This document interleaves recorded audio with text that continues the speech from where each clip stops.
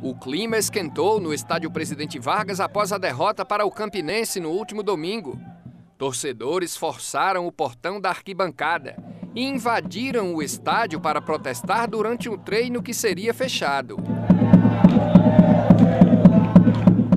Foi preciso a presença da polícia e do diretor de futebol Fábio Azevedo para tentar acalmar os ânimos. Cobrança normal, time grande tem cobrança, né?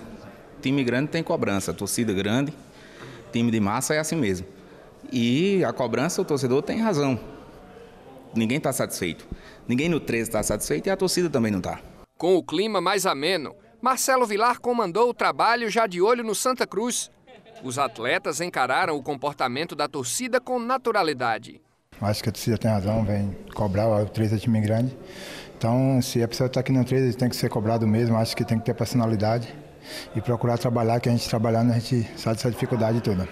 Alguns jogadores acreditam que os protestos não vieram apenas por conta da derrota no Clássico dos Maiorais, mas sim por toda uma conjuntura que vem sendo formada desde o início do Campeonato Paraibano.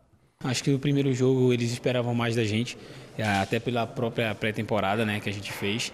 É, e a gente está devendo muito ao torcedor. Claro que a gente não vai mudar isso da boca para fora, né? A gente tem que trabalhar, tem que focar no, no que tem que fazer.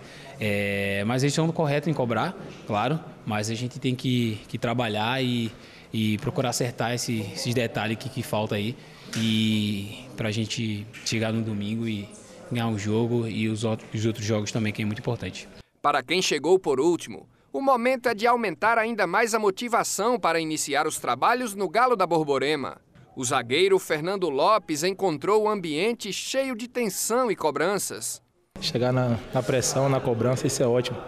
Tem que dar mais vontade mesmo de entrar lá dentro e dar o 100% e vencer, para a torcida ficar mais tranquila. No mais, o departamento de futebol segue trabalhando na busca por reforços. É tentar trocar o pneu com o carro em movimento e não há outra alternativa. Com o mercado restrito e a temporada em andamento, o trabalho está complicado. A gente está procurando não errar. O que tinha que errar já, já foi errado. Então a gente está querendo trazer os jogadores que a gente sabe que vai ajudar esse time a ser campeão, a se recuperar e ser campeão. Então a gente está trabalhando demais, está trabalhando diuturnamente, mas tem a dificuldade normal do mercado. Mas a gente já conseguiu alguma coisa.